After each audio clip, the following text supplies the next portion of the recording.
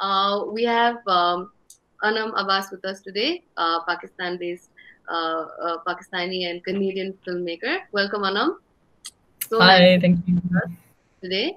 And I'd also like to welcome all our participants. Uh, uh, we'll be joined by more in a while. Uh, hello, everyone. Thank you so much for taking out the time for uh, and for attending the talk. Um, to give everyone a bit, um, uh, a bit of a brief introduction on Pame. This is our fourth edition. We're, we're the Pame Film and Music Festival, and due to the circumstances, we had to take our festival virtual.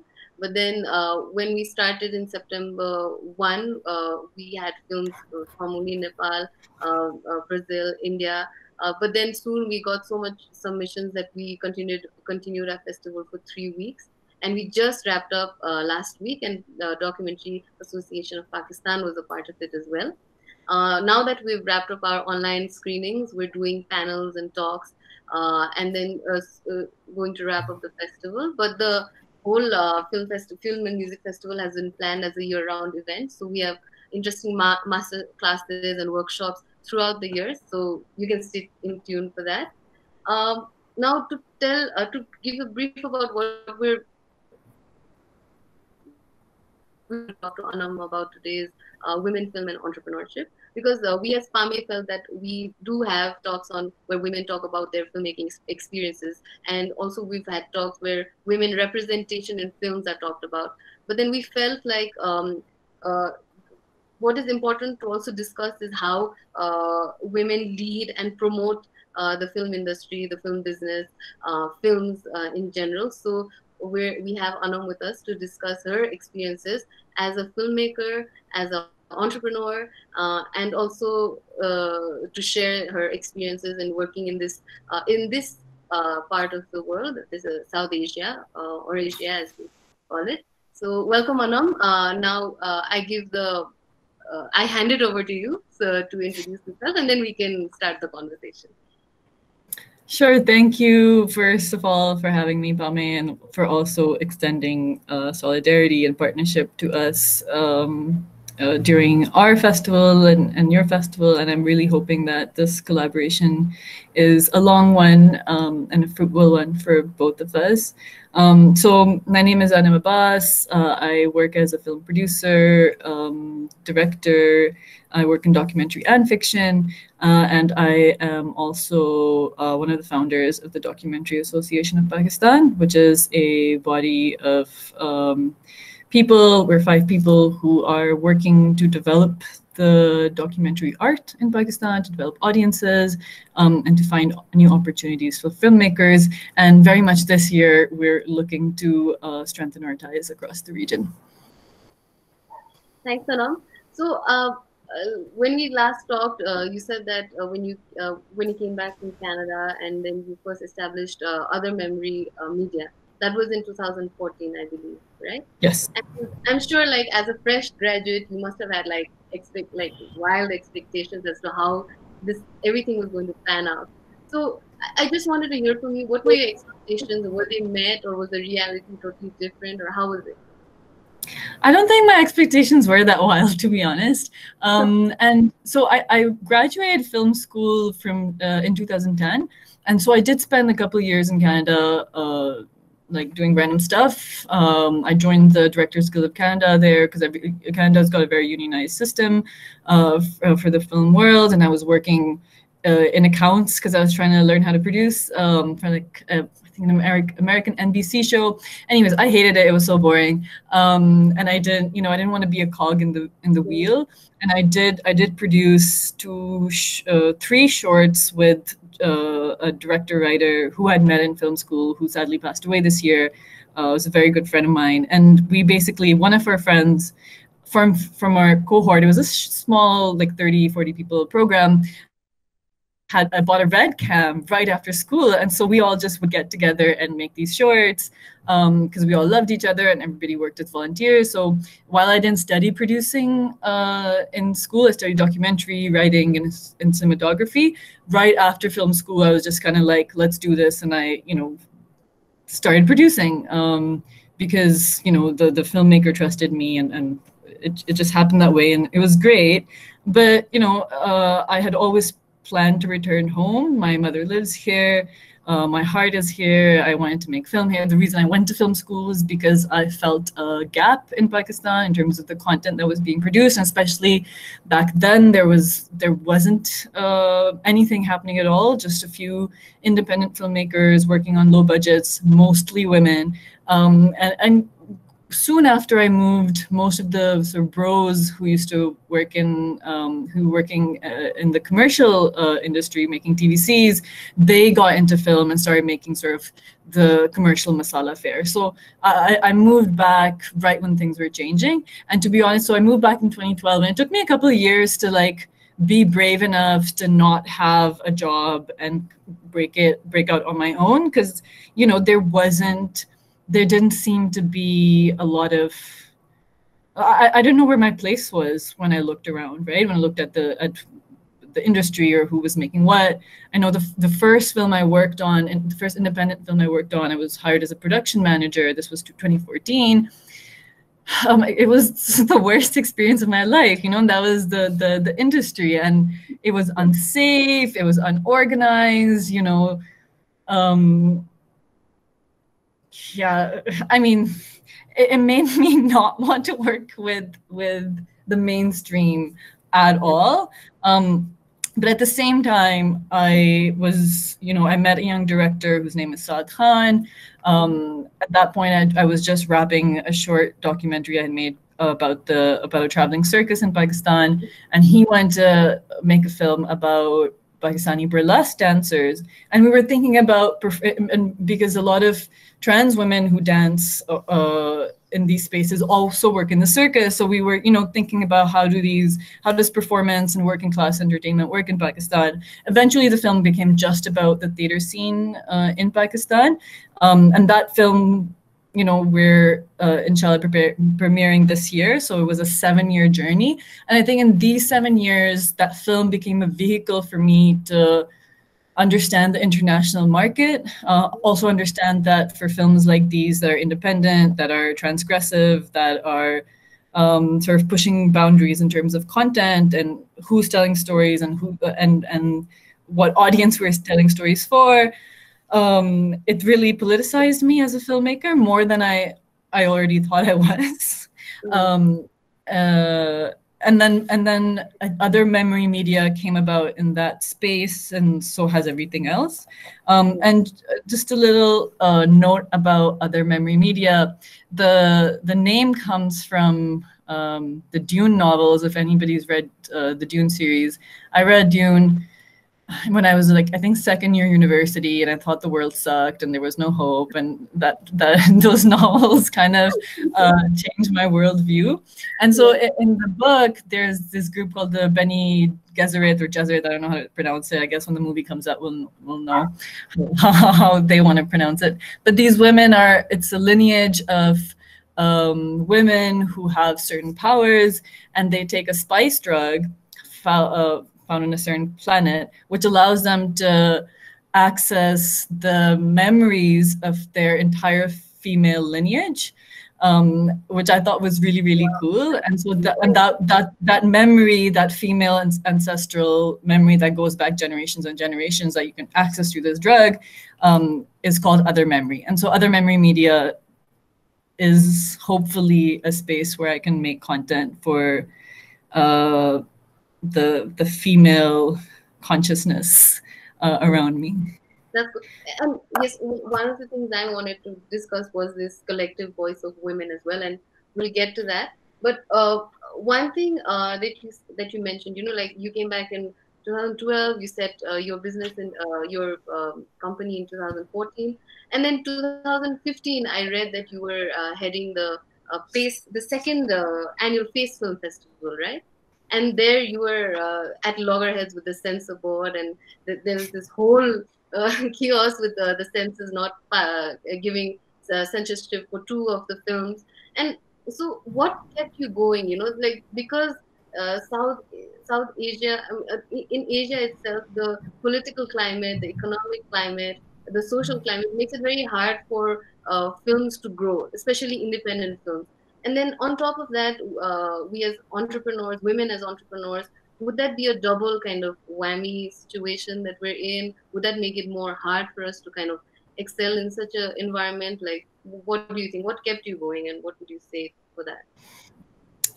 So I'm a Sagittarius, if that helps. Um, if things were easy, I would get bored. Um, so I think that the more I come up against this stuff, the angrier I get, and the the more I want to bulldoze my way through it, or find alternatives, or be. Sorry, were you saying something? We lost. We lost in the oh. middle. Oh, so I'm just, I'm just saying that you know when I come up against this stuff, I think it it it fuels the fire a little bit more, and, and I am like I feel like I'm a like per- perennial juvenile delinquent, so I think I, en- I enjoy um, I enjoy it a little bit to be honest. To like you know um, find paths outside of these systems right? It's, obviously it's very very disappointing. It's very heartbreaking. Like you know when face face what happened with the censor board shocked me right? But this is also like me learning more about the world around me that maybe did not understand as a young person. You know i left pakistan when i was 18 i came back like eight years later. Excuse me. And so the world that i you know when i started working and trying to do all these things you really understand how insidious um, the uh, suppression of voices is. And then and then you but then you also find ways right? You find like-minded people uh, who think the same way and then you you know you can still color outside the lines you just don't do it in their house. The great thing about that is i'm glad you brought that up. So the, the reason that happened to us is because Islamabad, which is a the a, you know the capital, it comes under the federal government. Um, there's not a lot of community spaces here, uh, and it's also a very elite city. And so there, you know, there's it's a very elite city, it's but also very bureaucratic. There's a lot of NGOs here. It's it's a very strange culture, um, and.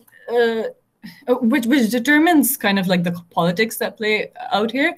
And the venue for this festival was the Pakistan National Council of Arts, which is a government uh, body and a government building, which is technically for the arts. But at that point, like I've literally I've gone there.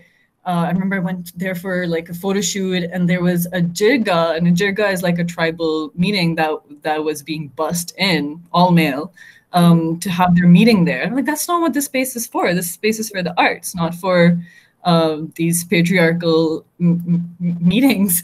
Um, and so, because it was a government body, we had to, you know, we were told by the administration that you can't play anything here, even if the festival was unpaid.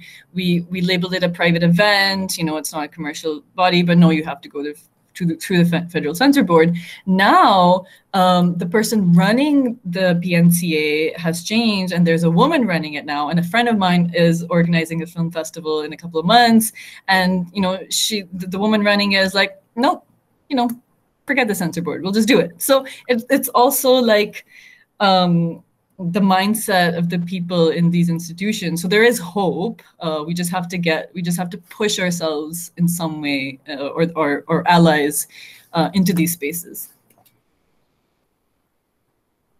Yes, that's true. I mean, it's a very important point. Like, uh, even though film, we don't have a designated space for a film, but reclaiming the art space, re- re- reclaiming the film space, you know, having a more uh, uh, coming out of that whole male sort of gaze and introducing more uh, films on women is important as well. And I think that's what you uh, very neatly argued in one of your articles. Like I've literally researched a lot about what.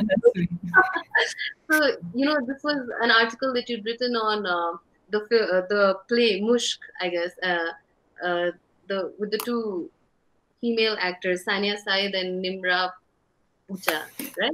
Right. And then you kind of talked of how uh, that uh, you know that we need to uh, create sustain and enjoy outside of any constructs that are created by the male. And then that now that we've already started kind of uh, doing that in our lives the art world should also do it. And this was 2017 you read written this in 2017 and three years on do you think uh, the art space has finally opened up to women? Or you know like women have taken control of their own stories of their narratives even uh, and this is not only for films but even like in business business uh, as an entrepreneur? Have they been able to do that? So, I mean, that particular play, you know, was starred two women. It was directed by a woman. I'm not sure who wrote it. Um, and they're all people I respect. Um, so I, I don't want to say that that was like, you know, that was that's still women making art. The woman who directed it runs a very progressive space that we still collaborate with uh, in Lahore, um, where a, a, queer film festival has been running for a few years that a friend does. Uh, he's a Pakistani Danish person.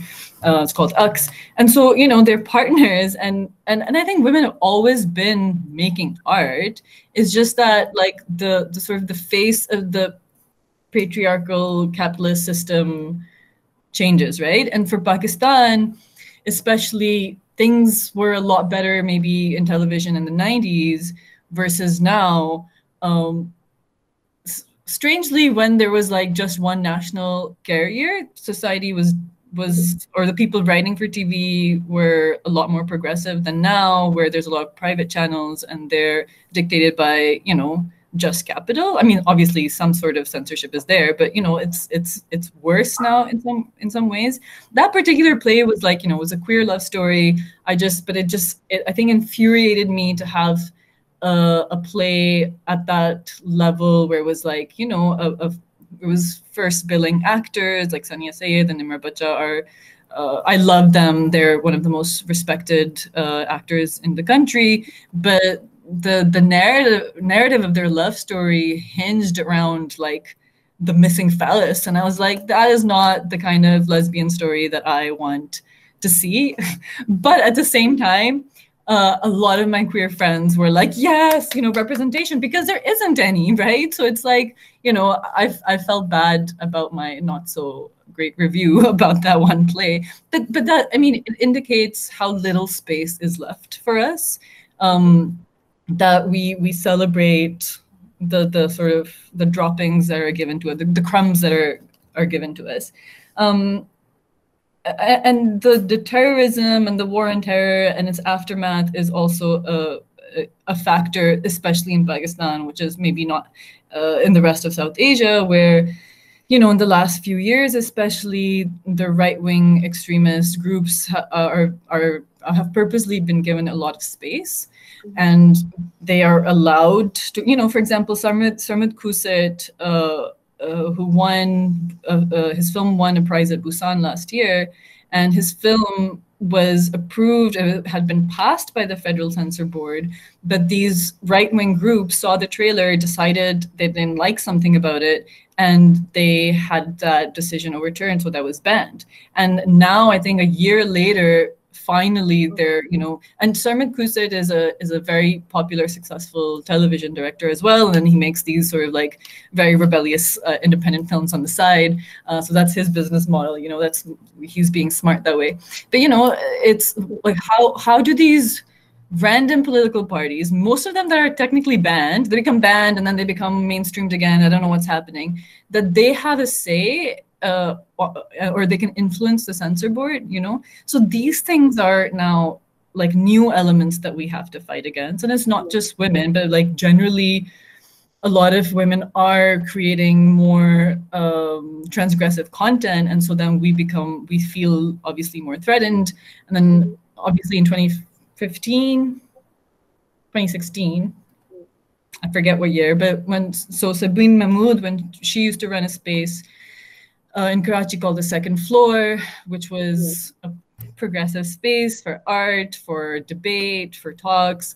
And she was gunned down right outside uh, uh, the second floor um, for you know, and, and, the debate is still rife about whether it was because of a political talk that she was having or because earlier she'd supported um, Valentine's Day celebrations, uh, you know, ridiculous as that may seem. And so these like sort of these these attacks, these deaths, these assassinations also make us feel generally that we, you know, that we need to censor ourselves or we need to step more carefully and it's also i have to say for me especially i feel like the feminist community and the feminist artist community like and the activists we we all know each other we all hang out so when some one of us is attacked, it, it takes an emotional toll on all of us, right? And uh, it just it just seems to be coming closer and closer and closer. So that's that's a little bit difficult for sure.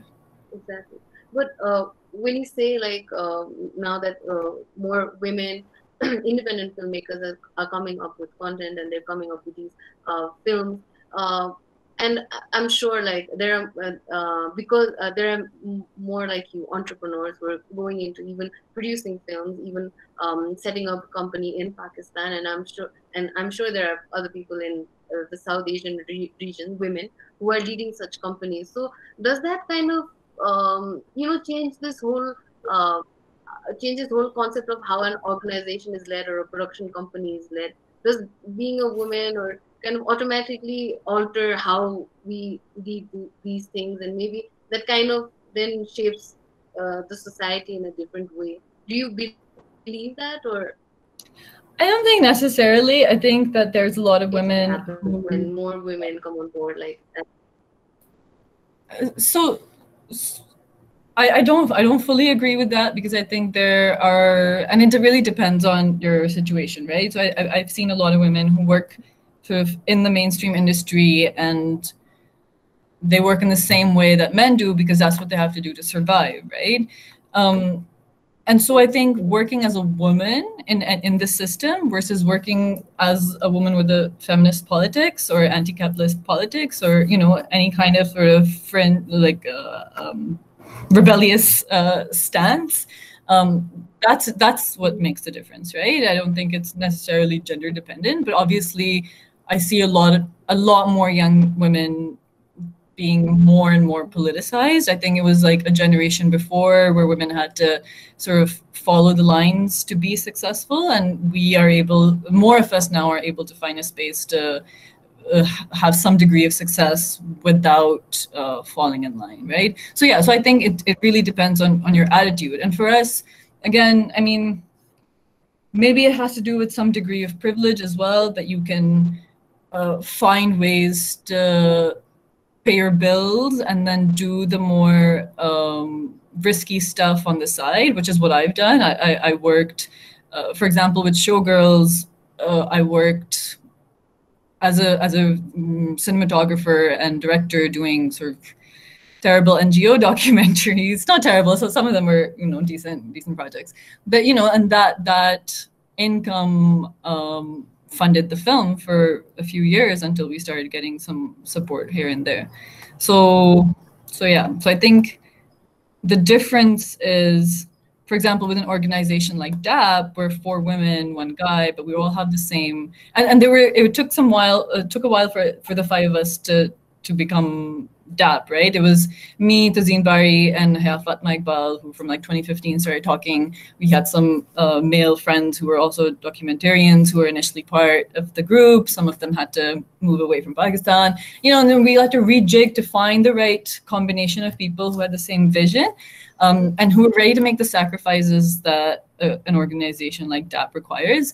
Uh, where the and so and the difference here is including the, the, the male in the group, who's lovely, is that we all believe in a non-hierarchical system. We work in a very democratic way. And we all, like the work that we've done from 2017 to now, most of, like we haven't, we're yet to see a paycheck for it, you know? So it's a lot of personal sacrifice in terms of time and energy and, and, and resources and contacts. But uh, you know, and, and we, we're obviously we're not completely uh, we're not martyrs. We're looking to always to make the uh, the organization more sustainable, but that takes time, and it especially takes time when you're very focused on what the organization needs to achieve. So the the the goals and the politics of it and our vision is just it's just forefronted, and profit or capital and that kind of stuff or, or our egos like highlighting ourselves that takes a backseat. And i think that's the difference. I mean it might sound really crude to say that but like that's the reality of the spaces that i've experienced um, in terms of how they operate. But but i'm sure like there have been days uh, that you know you feel like oh my god is, is this something do you rethink your choice? Or do you rethink like I should have like maybe just uh, directed a film, not taken up the uh, this business side of it, or you know, like I should have just abandoned this. Have there been days like that, or have and you know you talked about attack on your friend and um, and all of those factors. Does that like really dissuade you discourage you to continue or how do you find that? sometimes you get burnt. Like these days you know so dap is doing a film festival and we just launched our training program um, and I'm I'm moderating this conference next week, and so and I'm also at the end. Uh, I'm also editing my first feature documentary as a director, and I'm like, I need to be paying more attention to my film, you know. But like, I just I don't have the so you know times like that. I'm like, ugh, like my my my my my ego baby, which is my film, needs needs me more right now. Um, but also, there's been you know there's been times when personally business is dry and then you're like oh. I never think i should do commercial films. I just think oh i should have become a dentist like my mom wanted me to. I, I am not cut out for commercial work. I am not cut out for that industry. It remains still very male and very mm-hmm. um, i think the value system is very different. So i think whatever i do i have to be in a space where my values align with the people around me. Whether i'm teaching or you know make working in film or just whatever I have to do in life. I think that's a priority for me. Yeah. And uh, you talked about how this commercial industry is all um, you know sort of very uh, male dominated and then we also talked about privileges and that brings me to this uh, point where where i read that you know reese witherspoon just funded her own movie because the studios kind of said that I'm not going to make another movie when I already have one woman centered movie this year. So then she just went out, funded her own film. But we kind of know that, you know, not every woman can do that. So one thing I would really can do that. So how do you think? Uh, what what ways or what possibilities do you see for uh, women entrepreneurs? How can they navigate this entire this male uh, dominated space and you know find funding or how can they kind of channel the right people or or channel the right energies to make their um, business come through or the films come through? So one thing that i'm seeing uh, in I'm, I'm going to speak a little bit about fiction film in pakistan as well because i i have you know interest in that as well.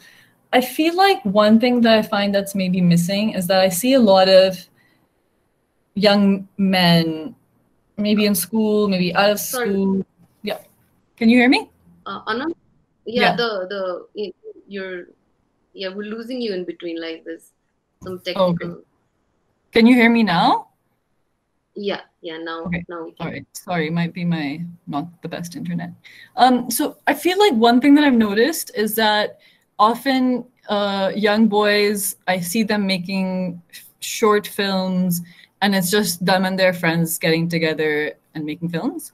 Um, and so they have something to show other people they have a reel and i think that's really important to develop right? So for me also like while uh, you know after showgirls was shot it, it, you know we took about a year and a half to film it and then the rest of the time has been in post raising money for post while by you know the, that that was a longer journey.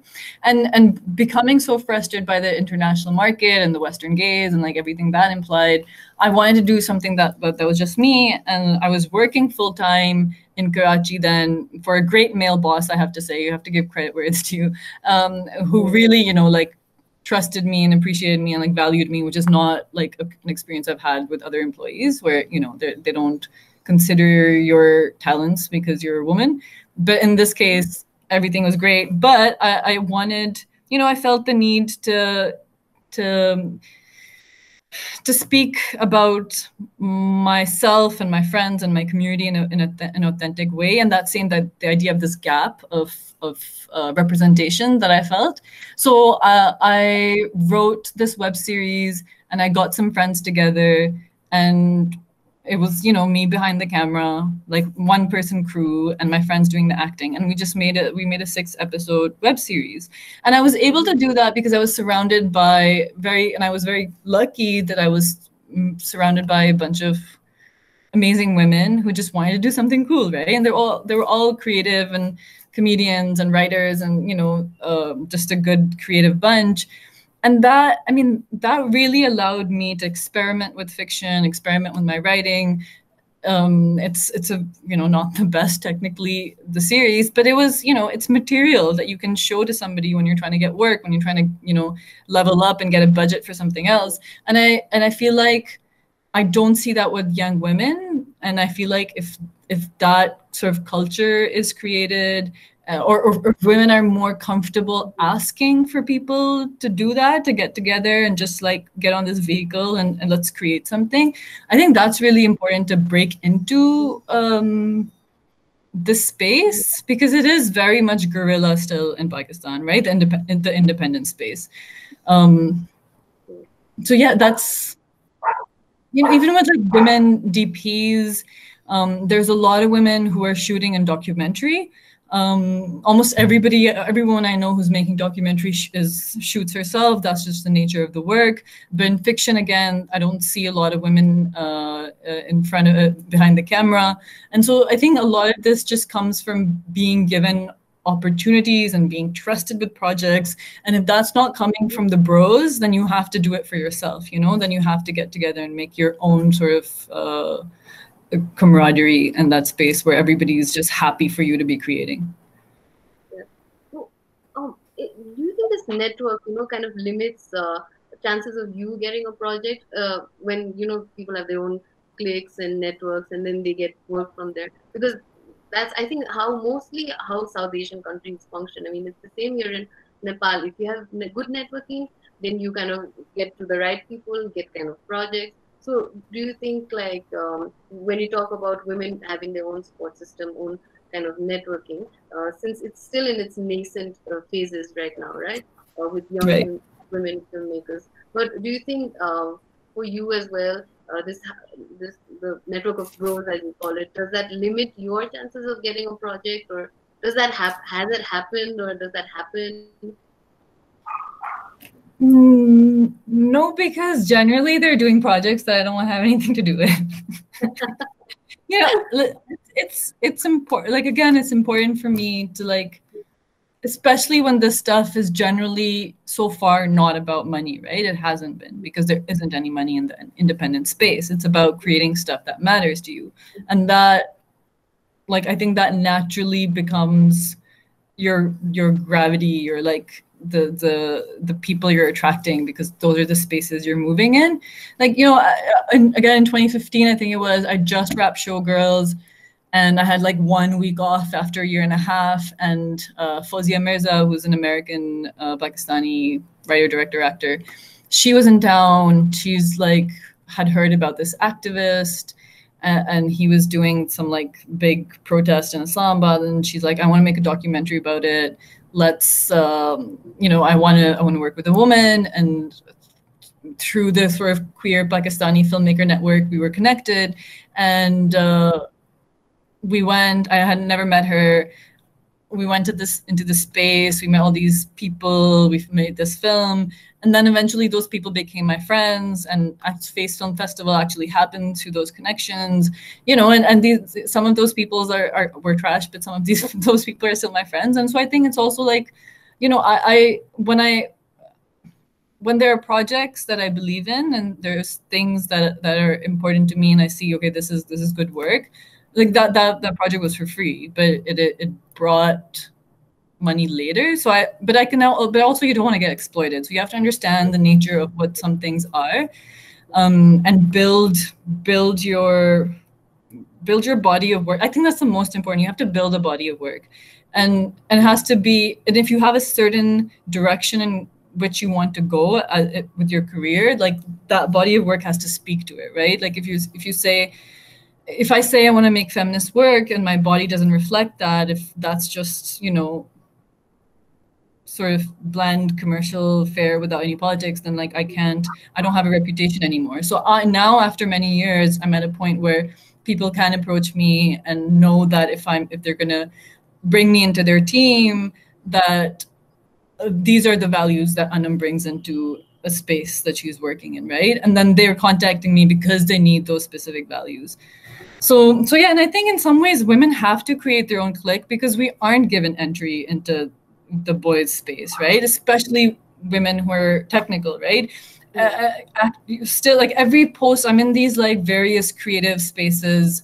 Um, uh, for like film and media and all of that, like Facebook groups and WhatsApp groups and whatever. And every time there's there's any like anyone's looking for anybody, it's in front of the camera, right? They just want pretty girls, uh, age 21, and that's it. Like I don't see anybody actively uh, trying to engage with women in more technical positions, and so we have to we have to create that for ourselves. Yes, you're right, and uh, as as someone who's headed uh, film festivals um, uh, on top of businesses uh, or your own company as well, uh, you you must think. I mean, not must, but you maybe also think that film festivals can could be a good platform to you know kind of provide this support as well.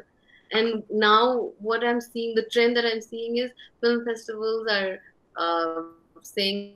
Like, we had like a very high participation. Like we're at an all-time high where we've got female films and female directors and female um, uh, women crew. Or and you know this uh, there's this whole um, like Venice I think uh, recorded its highest this year. Cannes also recorded a high number, and Busan had announced this uh, uh, for three filmmakers. I guess they displayed their work and they promised to encourage more. So I think film festivals, in a way, also, although it's not a, it's a business of, of some sort. It's not like a company company, but that also provides like kind of a platform to encourage women, right, or encourage even leadership, if not um, filmmaking.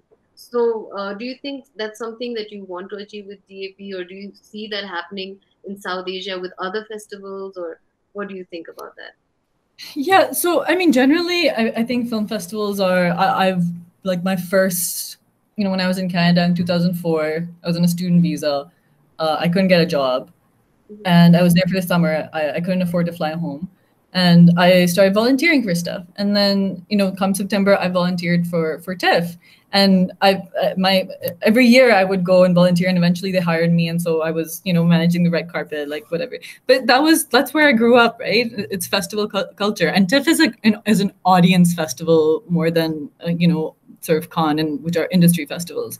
And it has such a great culture. And I and I think, you know, and that festival really TIFF especially determines, I think, what films are going to be commercial and like people really go there to buy because the audience is sort of um, it's very audience driven and and uh, there's a lot of fanfare and blah blah blah. And so it's not just like sort of gatekeeping uh, body of curators who determine what is important right? I think it's it's it, it's the other way around which i think obviously i mean there's some there's people who curate the films for you to watch but you know for example the my my uh, post was at uh, the theater where midnight madness happens which is their midnight sort of horror gore weird film culture and that is very much fan based so i really i feel like i really saw um, that process of, of selection in terms of film and culture uh, and so I, I really believe in film festivals.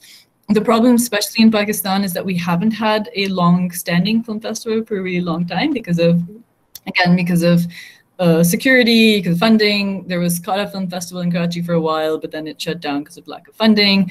After Face, I try. I was recruited to go to Karachi to set up the I Am Karachi Film Festival, which two weeks before, and and Min Bahadur was supposed to come, and I was so excited because I love Kalo Pothi and I love him. Um, and you know, two weeks before the festival, it was cancelled because uh, a very important Sufi shrine near outside of Karachi in Sindh was bombed, and you know, it just so uh, we're in a unique situation here where where just generally independent voices don't have that space to be showcased. Now, the, what we do as DAP, or what we had been doing before the online festival, is take showing films in small community spaces, like the second floor, like Kuch Khas, which is now shut down in Islamabad, like Olomopolo, which is uh, uh, the woman who uh, directed Mushk, her her space.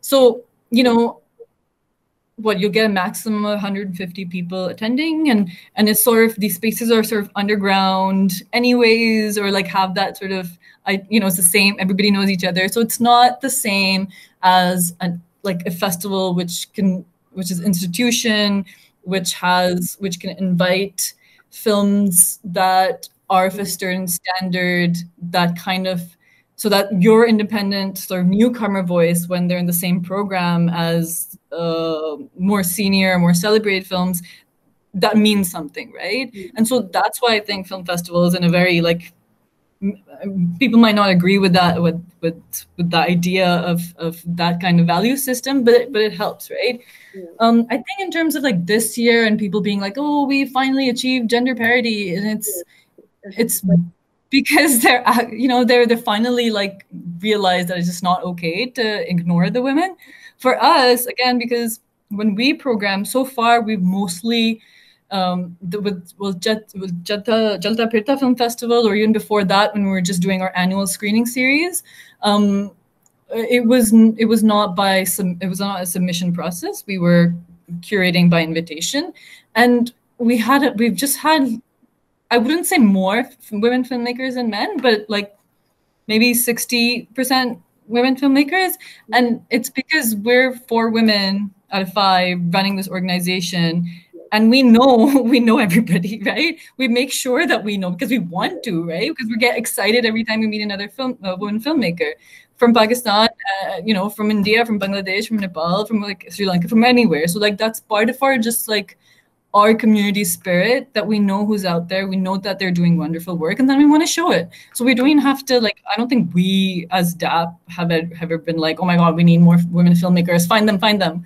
We already like it's, it's right in front of our eyes. So i think with with everybody else that have been working in a different way it's it's been really them having blinders on versus mm-hmm. you know this being some sort of charity that they're doing that by by increasing the number of women in these spaces and that's what i i was wondering whether that has culminated into anything or not you know they, talk about uh, they talk about uh, the percent of increase in women filmmakers, but I, what I really wanted to find out, and, and we and we in this region, that data is lost on us. We don't have any data, or we don't have any kind of dialogue, conversation on what women are doing, or what how what their efforts have been, what has their experiences been, you know. So I guess um, that's why that's why it's so great to have you also kind of share your experiences, and I hope more people people who are listening to this now will be listening to this later also kind of realize this and kind of share with us or be a part of our kind of small collective that we've formed here. Uh, and you know are encouraged. So um, we're going to hit the one hour mark but i just wanted to before i open the floor for questions i wanted to ask uh, a last question i wanted to throw a last question to you so uh, it's been six years now and there's like still so much left um, so what what possibilities do you see? Is, is the future looking good or is it bad? what do you see? What do you see ahead for yourself, for the region, for women, for entrepreneurs?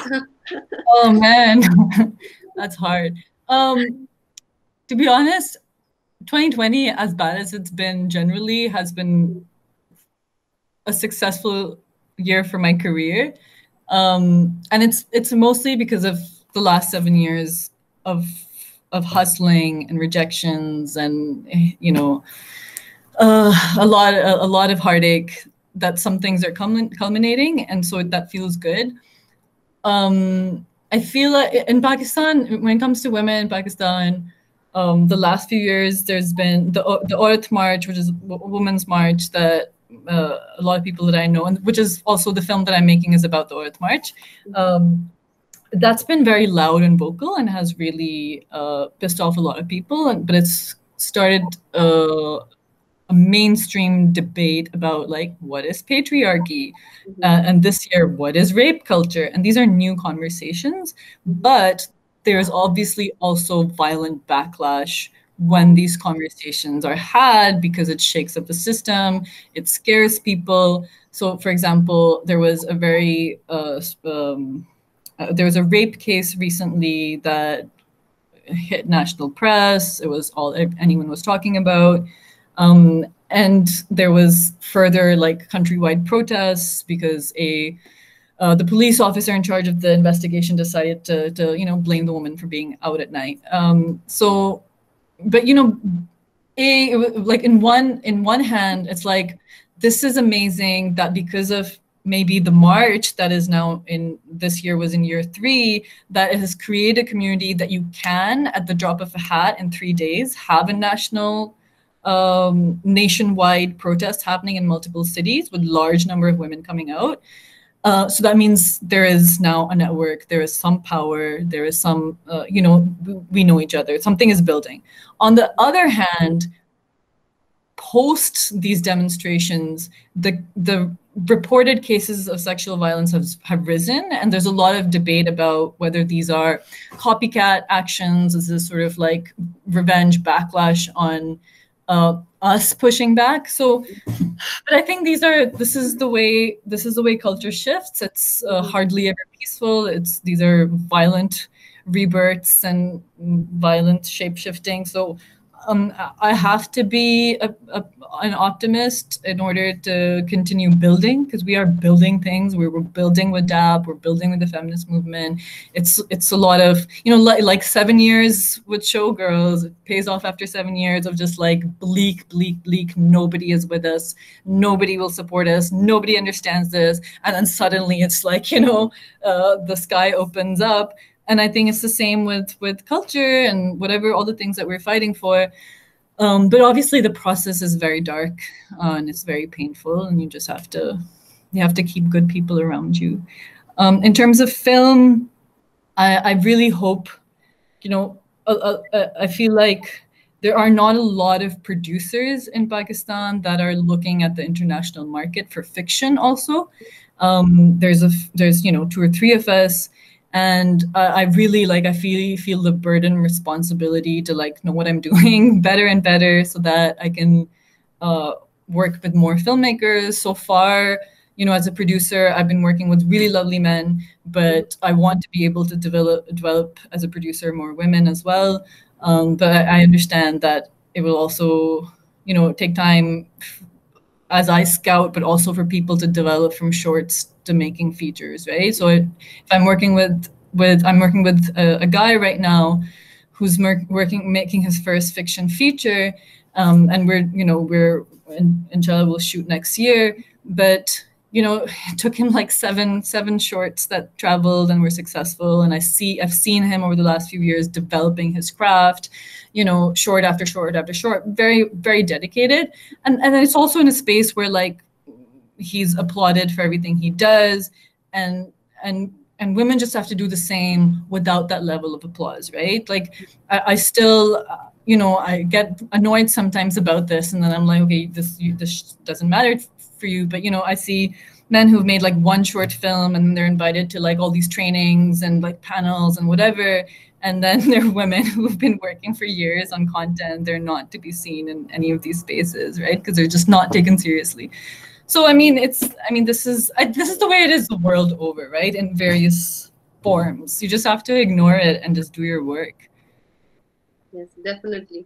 Definitely and more power to you anam for because I mean the kind of work that you've done and what you're doing right now it, it, it is inspirational and it does motivate women not only women I guess I hope it motivates men as well.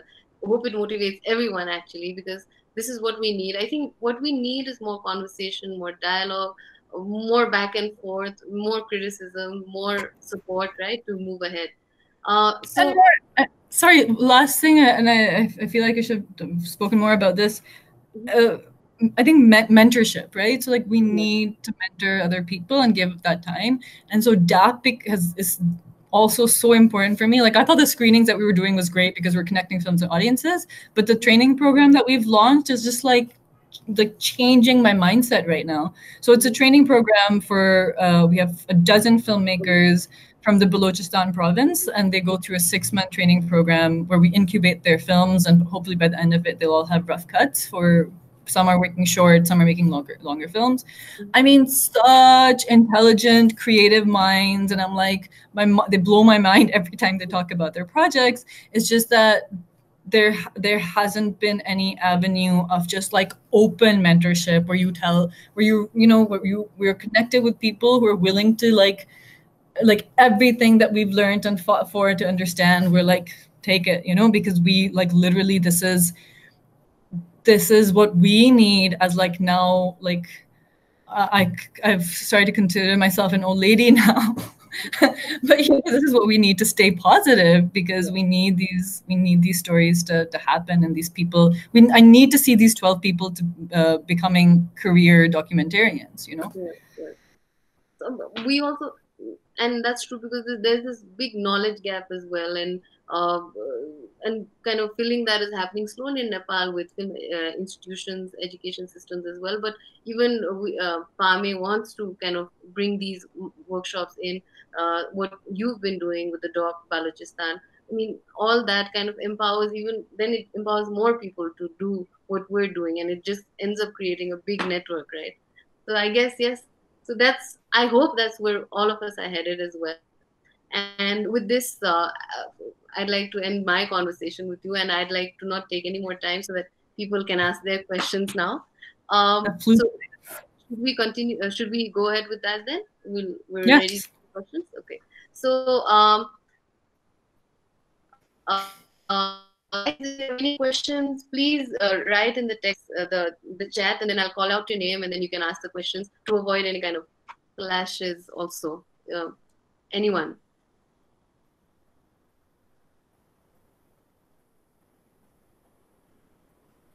Hi, Michelle. Hi. So, hi, Michelle. So, the it's open to you. The floor is open to you. Okay, cool. Um, that was awesome. Um, and I, I thought it was really interesting when you were sort of talking about queer sort of voices in, you know, in, in Pakistan right now. And I think it's, it's, it's it is really interesting because we do kind of have to get the like bottom of the barrel and sort of accept that. Um, and I don't know. I think my question mainly is one, how do you, because effectively queer, you know, being like, I know I'm technically, not even technically, I am illegal in Pakistan, right? Um, anything that I like think and feel is illegal in Pakistan. And especially, I think, in a patriarchal sort of society, you definitely don't have enough of like queer females maybe taking up that space, which is at least something, especially in like, you know, you know, I'm not, you know, you said that it's a very sort of tight knit queer community and it's not something I've ever seen or even knew existed, especially, you know, abroad and not being able to live in Pakistan. So I think, you know, like brown, queer, female voices, I think are really important. And, you know, personally, that's something I think is like, I would love to get into. And yeah, my question was basically, how do you, how do you get into something like that? How can you sort of make that an avenue where you're in a situation where that's a voice that is willing to, you know, be made and heard and you know listened to. Uh, i mean I, I, don't i'm not the best person to speak to this maybe because I, I, am i'm you know sadly very hetero but um, my, my my space is a feminist space like yeah. how, where i create where i socialize you know? So uh, for me it's very natural yeah. for that the, that kind of safety and that kind of collaboration where everybody's you know speaking their yeah. piece. But also obviously there's you know there's a there's self censorship right? There's those few places where it's like okay here we can say this here we can show this for example ux film festival it's it's a it calls itself a well i mean this is ux film festival is a um, festival that shows uh, queer content, but it runs very underground. It's been running for a few years, and it runs in multiple cities, but it runs underground, right? But it has a it has a little culture around it. Um, even with queer voices in the Aurat March, yeah. have to be like have to sort of self censor because um, as because it would. I mean, it's legal.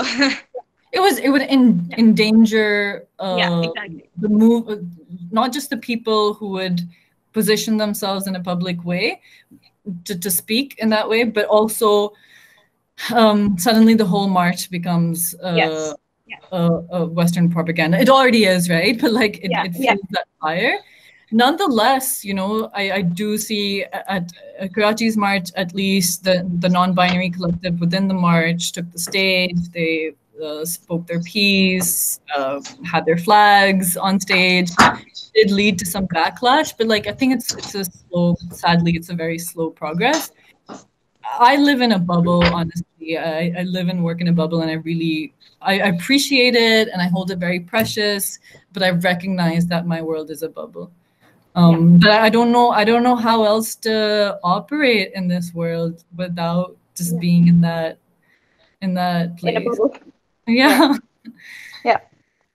Um, so yeah, in terms of that, like for sort of a newcomer who would possibly be interested in, you know, like queer shorts or like, you know, queer female oriented sort of like Pakistani shorts, what would be sort of and I know you mentioned like, you know, boys do get to you know, they get they get together and make their own shorts and they make their own things, but there really isn't an avenue like that for girls or like for female looking people.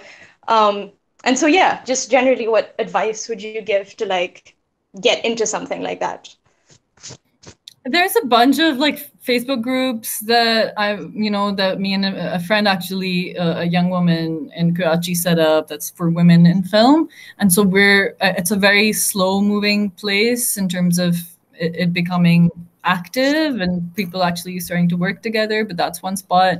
I can also just introduce you to my friends who are interested in creating content and you should connect with them. And who knows, Thank yeah. you. Hit me up, girl. I will. Thank you, Michelle. Uh, we have uh, Sashank Shrestha. Uh, I guess he wants to ask a question. Sashank, you have the floor now. Uh, thank you so much. Uh, so, uh, uh, one thing I really wanted to ask was uh, something that's related to Nepal too. So, like, uh, with the proliferation of you know internet and online platforms, do you think that there is uh, a better chance for you know uh, South Asian filmmakers or Pakistani Indian filmmakers to have their works uh, showcased more because like uh, one thing the internet does is bring a sort of a relatively even playing field. So like uh, I agree about the entire boys club angle that you uh, were talking about because that's something that we see ourselves in uh, Nepal too, and like because there is an actual you know uh, because YouTube or Vimeo is basically free for anyone to post their videos on, do you think that actually uh, provides more avenues for female filmmakers to actually showcase their work more? It totally can, but it's just like um, you have to have the ability to create that content first, right? So there, there's two things that uh, uh have that come to mind. One is that when I was talking about women getting together and making films outside the boys' club, one thing I failed to mention is that the, the, the cultural reality of South Asia is that women's mobility is limited, right? And so I cannot be, I mean, I don't mean me, but like the everyday girl cannot be at a, perhaps at a shoot that's running overnight, for example right? How's she gonna get home? She can't take a rickshaw home. So uh, at that, so you know, if it's women, they'll actually give a shit about each other's mobility and be like, all right, let's let's let's shoot something that we can reasonably shoot within our uh, capacity and mobility and restrictions from like you can still do stuff right? But nobody like you know you can't expect that from um, some dude who just wants to make his film because that's his magnum opus because he doesn't care about your mobility right so it has to be a space that that has those priorities. So that's one thing I think definitely that needs to be mentioned, which is why a reason why I believe in women's spaces. Um, and also because I think you're just less inhibited and just are, are able to speak your mind and, and really speak your truth. Second, uh, what was the, I forget what the, oh, so in terms of, well, Pakistan specifically is, and also now I guess in the region, we've had a lot of uh, effort to clamp down on these online spaces as well, right? For so many, for like the beginning years of YouTube, we didn't have YouTube because it was banned in Pakistan. So like the the the OGs of YouTube, like we we couldn't develop those people, right? Now again, everybody wants to shut down TikTok and like now the president was like our president was blaming the rape cases on TikTok as well because you know why not? Everybody's jumping on that train. Let's just blame the entire world's problems on TikTok. So like one aspect is that our regimes are scared of these online spaces. At some point, um, PEMRA, which is a governing body here that looks after the media and like bans things like right, left, and center, they were trying to pass a bill where if you're going to have a YouTube channel that is uh, for revenue generation, where you have subscriptions, subscribers, you have to pay the government uh, 10 million rupees. I can't afford 10 million rupees. How is that like the random person in their village putting up a recipe a day going to afford that, you know? So it's this um, that is like a unique thing that we have to deal with. Second, we're also dealing with sort of the uh, the hegemony of uh, Indian uh, cultural content within the region, where there's Netflix India, there's Vice India, there's Amazon India, and we do not have um, those offices. A because maybe we just don't have the purchasing power. We don't have enough subscribers on these channels for this. Because you know, I think another thing, a lot of like uh, I, I come to these spaces where this sort of Pakistani creators are like huffing and puffing about like why doesn't Netflix make Pakistani content? I'm like they're not here to they're not a charity. It's a business, and right now there's no business sense to make content in Pakistan, right? Because there's there's just not enough subscribers. So and even in even in India, you know, Netflix works with like two production companies, so there's still a lot of gatekeeping. I think the answer lies in our own streamers. Um, I was happy to hear, like for example, Pame uh, collaborated with Jalchitra, and you know we were we're hope we're looking for similar uh, collabs in Pakistan. We just don't have that kind of streamer ready yet, but we were speaking to people who are developing such options. Um, and I'm also really like the conference that we're doing on Thursday that I that I hope is uh, fruitful uh, I'm really trying to present this idea of let's how do we in the documentary space how do we build regional distribution? So for example in north america educa- just educational distribution is a viable income source for your film. Why can't we develop a regional format for and ha- i feel like here it has to be regional because of our purchasing power right? Because it has to be at a larger scale. It has to be coordinated for it to be sustainable.